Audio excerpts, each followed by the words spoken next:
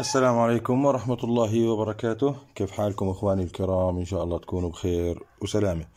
إخواني إن شاء الله اليوم بدنا نتكلم في فيديو سريع عن آه، توصيل التوازي والدلتا.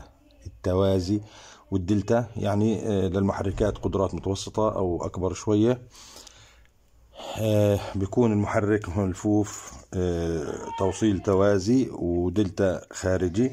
طبعا الآن عندي أنا محرك هون قطبين هاي ترمبة ماء سبعة ونص حصان. آه، توصيلها طبعا آه، كانت ملفوفة بسلكين مجوز أنا عملتها توازي بسلك واحد. ف وهي من الخارج توصيلها دلتا فالآن راح نوصل توصيل توازي داخلي. ودلتا خارجي بطريقة سهلة وسريعة ما بدها أي مشاكل.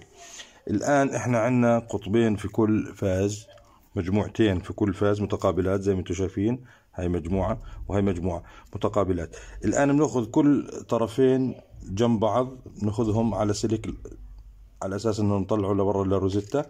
هذا بكون نهاية وبداية. هذا التوازي توازي للقطبين نهاية في بداية. فبنأخذ السلكين اللي جنب بعض وفي المقابل السلكين اللي جنب بعض كل مجموعتين السلكين اللي جنب بعض نهاية مع بداية نهاية مع بداية. كل سلكين متقابلين آه، كل سلكين جنب بعض وبنأخذ كمان السلكين المتقابلين اللي جنب بعض نهاية وبداية نهاية وبداية لكل الفازات لكل المجموعات. الآن إحنا بنبدأ من أي سلكين بنعتبرهم طبعا هذول كل سلكين بنعتبرهم إحنا الآن كأنهم سلك واحد لأنه راح نوصلهم مع بعض على سلك ويخرج للروزيتا ف...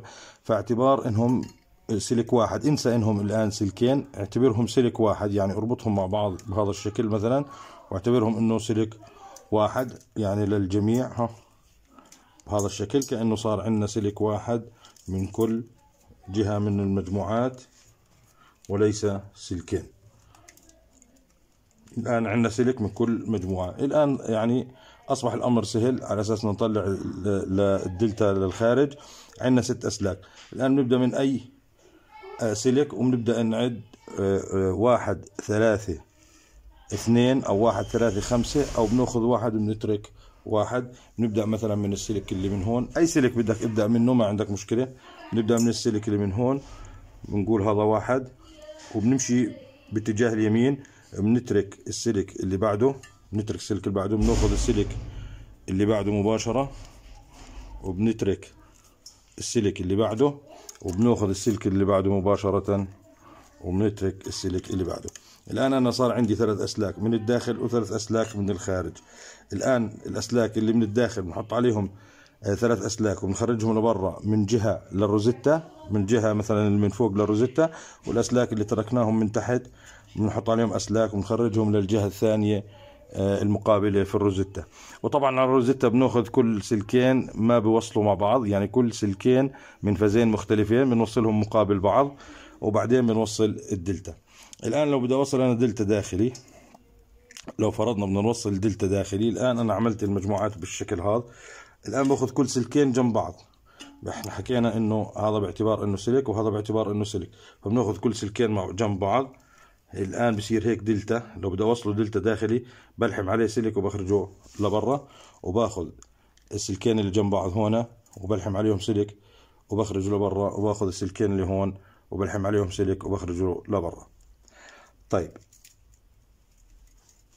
الآن إحنا خلينا بس على أساس إنتوا تتأكدوا هاي الأسلاك اللي أخذناهم من جوا وهي الأسلاك اللي خليناهم من برا.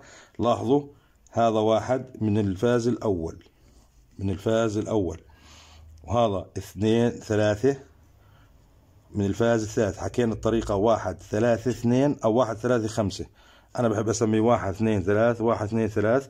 فبنقول هذا واحد. الآن الثاني السلك الثاني بده يخرج لبرا الآن هي من الفاز الثالث. إذا واحد ثلاثة.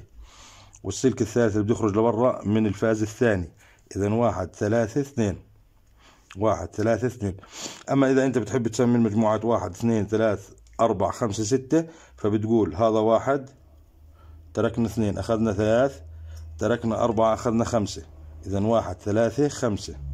واحد ثلاثة خمسة. هاي هي الطريقة. إما بتوصلوا داخلي كل سلكين جنب بعض دلتا أو بتخرجهم كل ثلاثة من جهة للروزيتا وبتوصل كل سلكين مقابل بعض ما بوصلوا مع بعض أو كل واحد من فاز مختلف عن الآخر. هاي هي الطريقة طريقة سهلة إن شاء الله ما فيها أي مشاكل. حبيت إني أعيدها وأكررها بصراحة لأنه بنسى إلا الآن عنها. يعني صورت أكثر مرة من فيديوهات لكن انسألت عن هاي بالذات إنه دلتا توازي ودلتا. توازي ودلتا. هاي هي الطريقة. الفكرة إنك تعمل بس التوازي تعمل تفترض إنه السلكين البداية والنهاية تعملهم سلك واحد كأنهم سلك واحد. في الآخر بصفي عندك ست أسلاك.